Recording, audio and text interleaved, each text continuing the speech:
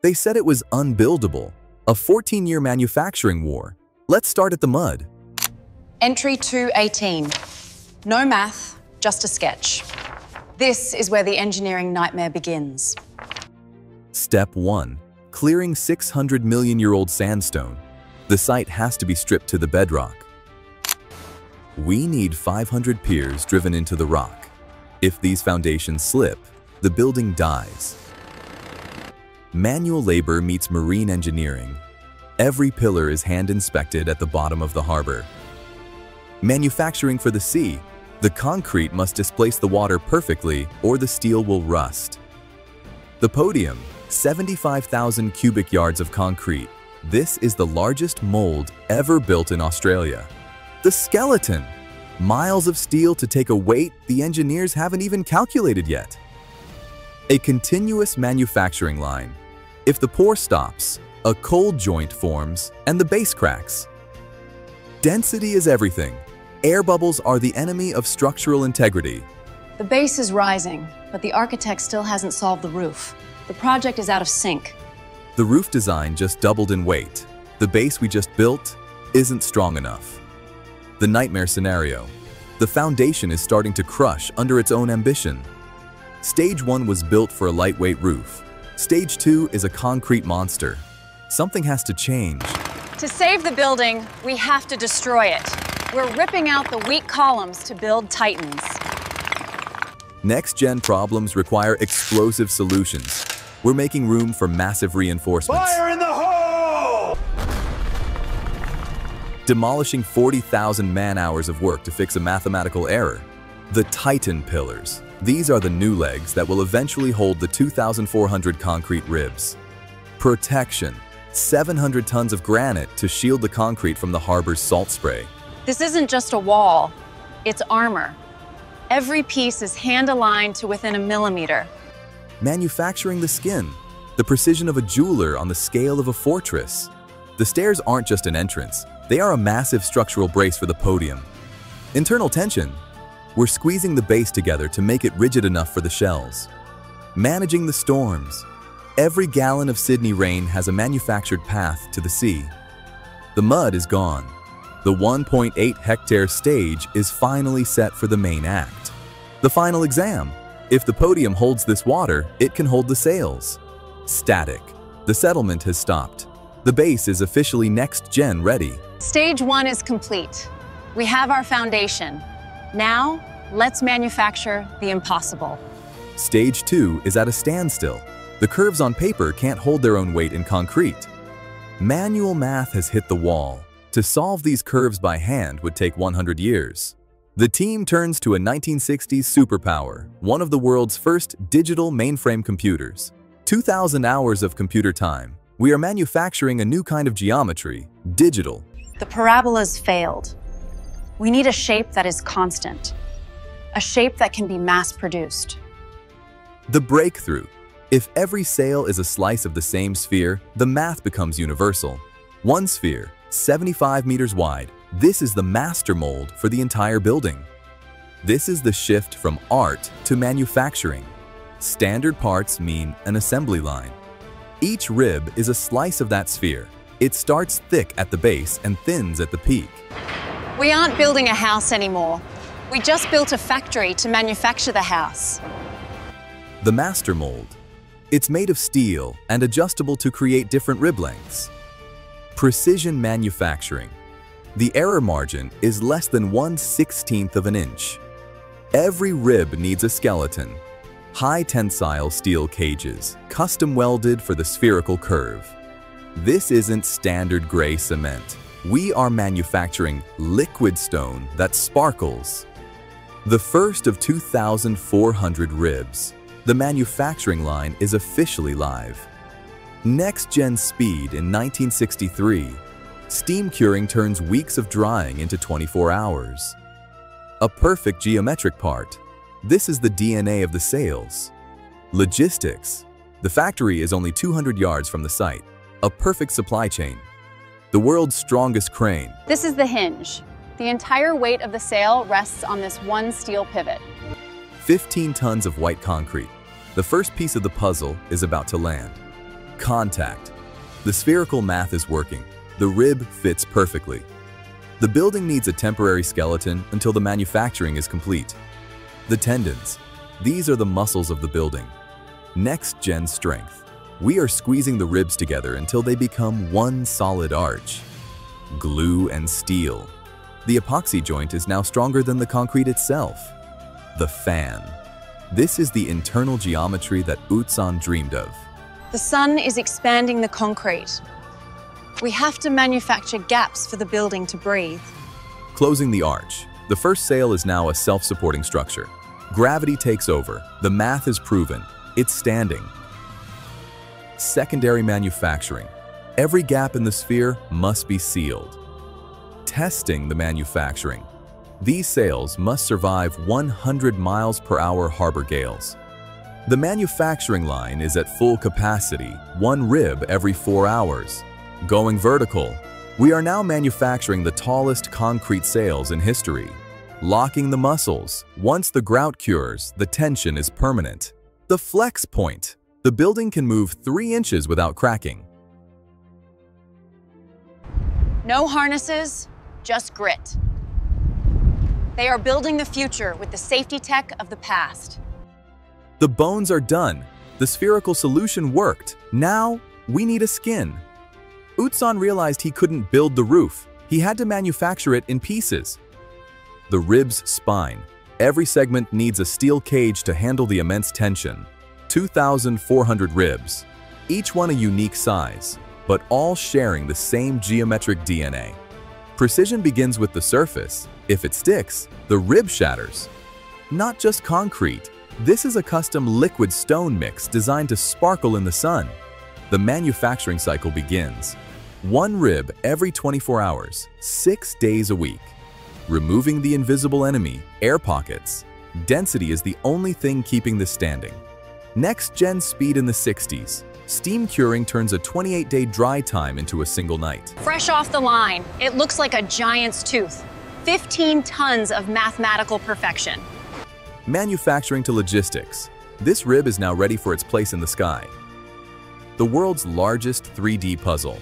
If the sequence is wrong, the geometry fails. Every piece moves on a rail, a literal assembly line to the harbor edge.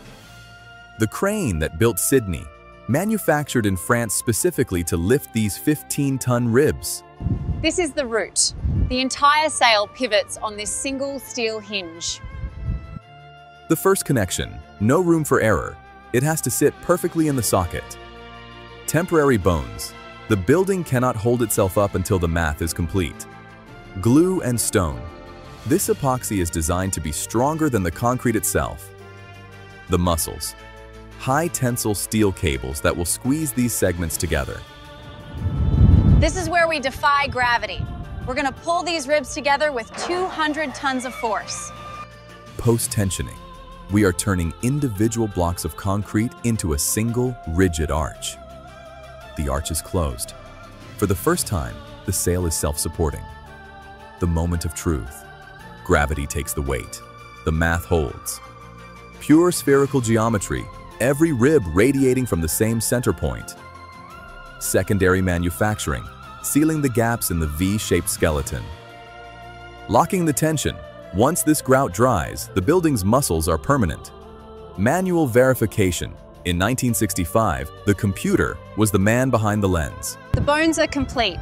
2,400 ribs are locked. Now, we need to manufacture the skin. Manufacturing for the storm. These shells must handle 100 mile per hour gales. The largest scaffolding project in history. A city of steel just to reach the peaks.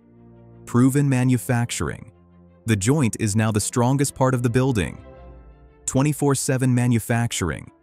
The budget is exploding and the government is panicking. 1960s safety, grit and balance were the only systems they had.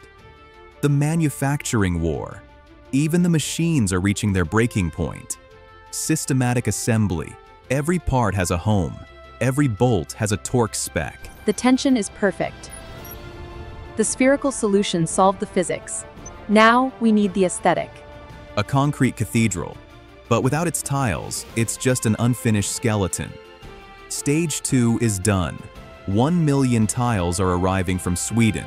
The skin is next. The skin of an icon. 1 million custom ceramic tiles manufactured in Sweden and shipped halfway across the world. Two types of tiles, glossy to catch the sun and matte to soften the glare. Manufactured to be self-cleaning. Hand placing 1 million tiles would take 50 years. We need a manufacturing miracle. We're turning a roof into a product. This is mass production on a curved scale. The Lid Factory, a dedicated assembly line to turn 1 million pieces into 4,000 manageable panels. The chevron, a mathematical pattern designed to hide the joints between panels. Bonding the skin, once this cement sets, the tiles and the panel become one single unit. From 1,000 individual tiles to one next-gen panel in minutes. Mechanical connection. No glue will hold this to the building. It has to be bolted. The first panel goes up. The transformation from raw concrete to shimmering icon begins. Precision manufacturing. If this lid is off by two millimeters, the whole pattern fails. Fixed for 200 years, the lid is now part of the building's skeleton. The building is alive. These gaps allow the tiles to expand in the Australian heat. The V pattern creates a play of light that changes every hour. It's a solar machine. Waterproofing. One leak and the salt air will rot the steel tendons inside. Quality control. Every tile is checked for a hollow sound. Zero tolerance for manufacturing defects. Every lid is the weight of a small car. The podium we reinforced in Phase 1 is finally being tested. Closing the spine. The shell is now fully armored against the Pacific storms. Manufacturing longevity, materials that won't rust, even in a salt mist environment. At night, it's a different building, a monument to the moon, manufactured on Earth. The rain is the only janitor this building needs. The glaze is designed to shed dirt. Manufacturing for the future. We made 50,000 extras because we knew we'd never find this clay again. Even without computers in 1967, they achieved a tolerance of 0.05%. The bravery of the lid fitters. 200 feet up with nothing but the wind. The building moves 3 inches daily, if it doesn't bend, it shatters. Hidden manufacturing. The plumbing for the roof is built into the skin. The concrete is the resonator.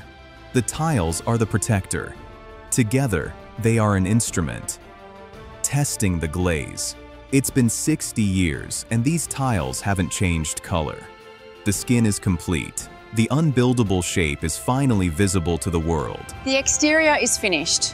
1 million tiles, 4,000 lids. Now, let's see the disaster inside. The sails are done, but they are hollow. Now we have to hang 2,000 tons of glass. Manufacturing the view. Double glazed, bronze tinted glass from France. The mullions. These are the steel trees that will support the glass against the wind. Fragile manufacturing, one mistake, and 500 hours of French craftsmanship shatters. No rust allowed.